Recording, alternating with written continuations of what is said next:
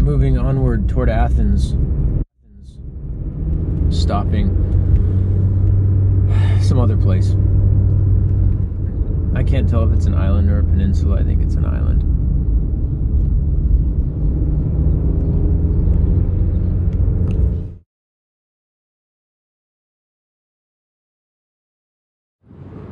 Jesus, people drive crazy on this road. I have not seen this type of driving. These guys are greeking all over the place. This is this is new to me.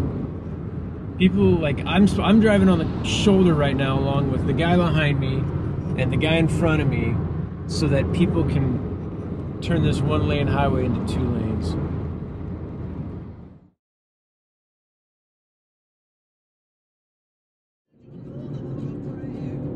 Sometimes people claim that good things need a counterpart in order to exist. Was no evil? How would you know peace if there was no unrest? Peace, joy, love do not need a counterpart to exist any more than reality needs a counterpart to exist. It seems to me like there's a lot of people out there who are making excuses for themselves for why they choose darkness or why they choose some manner of evil, claiming that they're the balance of the universe, that you've got to have bad to have good. Well, that kind of high minded intellectual theory will quickly give way to a sobering reality when they are corrected.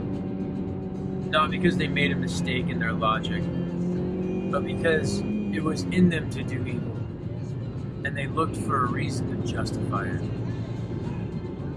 They had already chosen that path. It was just a matter of finding a decent enough excuse to allow them to pursue it.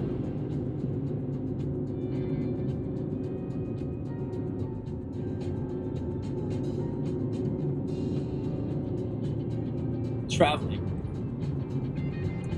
It's not that I want to, it's just that there's nothing else to do.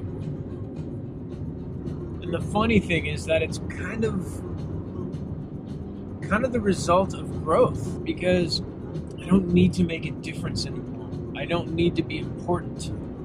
And I think if everybody else is honest with themselves about why they're still here, they would have to admit that their reasons for living are insanity. It's brokenness, it's arrogance, it's ignorance, it's fear that keeps us alive, that keeps us from walking off a cliff or jumping into the ocean. And I'm in that dark space in the middle. I'm in that power outage when the grid goes down and all the lights go out, but your generator hasn't kicked on yet. That moment of blackness between having an external source of energy and an internal source of energy. And so I've got neither right now. And it's been a while. And I don't know if a motivation is going to come back to me for living. I travel because I don't know what the fuck to do with my life. And I have a little bit of money to spend. And everything else feels like dying. And this feels like a living kind of pain, a living kind of suffering. That's the best I've got right now. I just get to choose between two types of pain one that feels like a funeral and one that feels like birthing.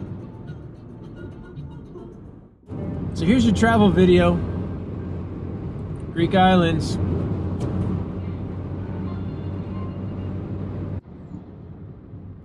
I still believe in some things.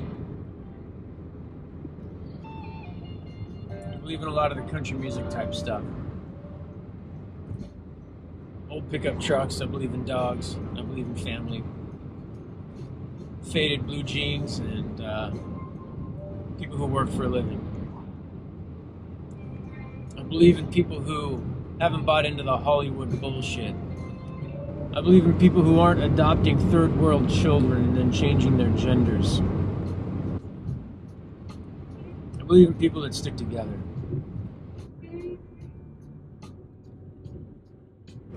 There's something there's something a little more stable than what the rest of the world has got going on. We are losing our minds. Partially. some of these changes are good.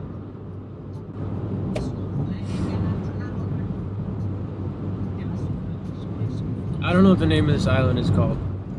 It's Greek. It's all Greek to me.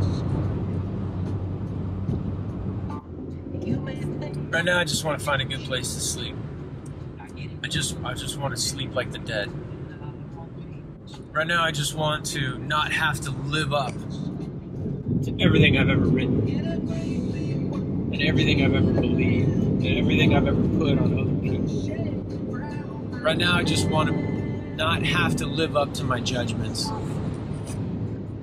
want the Supreme Court of my past to go away.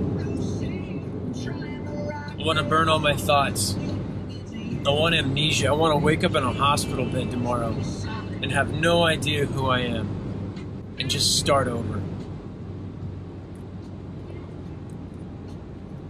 I want to forget everything and see what comes of me when the programming is all gone.